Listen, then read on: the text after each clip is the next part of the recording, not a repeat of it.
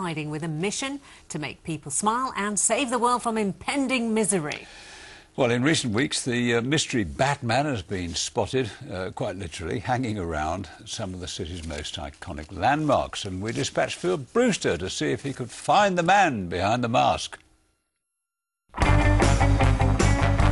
After months tucked away, Nottingham's very own Batman has emerged from his belfry. In recent weeks, he's been spotted, suspended at various locations around the city. But who is this Cape Crusader? First stop in our attempt to unmask him, this fancy dress shop in Nottingham. Sadly, staff here were unable to help, but reckon he needs to do more than just hang around. He's not fighting crime, is he? So. is he doing anyone any harm? No, I don't think so. He's, I think it's a good thing. He's out there to save the world, apparently. Yeah. So what's brought Batman out of hiding? According to his Facebook account, yes, even superheroes use social media, he's returned to save the world from impending doom by making us all feel more happy. Residents in Nottingham today had mixed views on his role as saviour of the city. I think he's a bit crazy. I bet, to be honest, I think he's psycho. Well, everybody to themselves, isn't it? It's his choice, isn't it? It's a free world.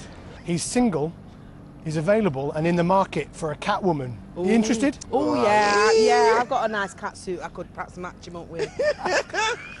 Today, Nottinghamshire's Police and Crime Commissioner was unavailable for comment. But down at City Hall, jubilation at Batman's surprise return. Isn't it brilliant that you've got Batman helping you fight crime in the city? It's fantastic. We do lots of things in the city to try and fight crime. We put lots of fun events on, and any help we can get from Batman is entirely welcome. Of course, Batman already has strong links with Nottingham. In 2011, Wollaton Hall doubled up as Wayne Manor for the film The Dark Knight Rises. Back in the city centre, though, we were still having trouble locating his latest incarnation. First, we asked his sidekick Robin, before realising our fundamental flaw. Next up was the tried and tested Bat phone.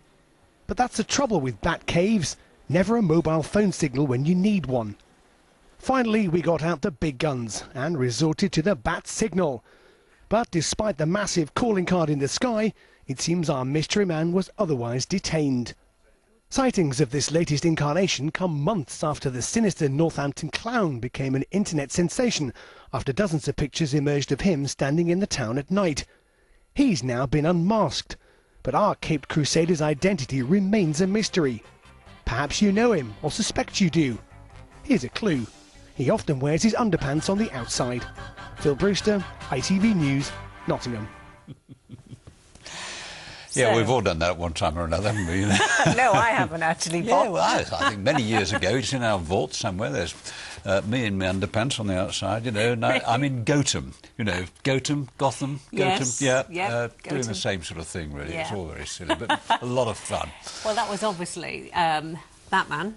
Yeah. Who's driving everyone batty with his identity. If you know, let us know because we're going to be talking about it, aren't we, for a while.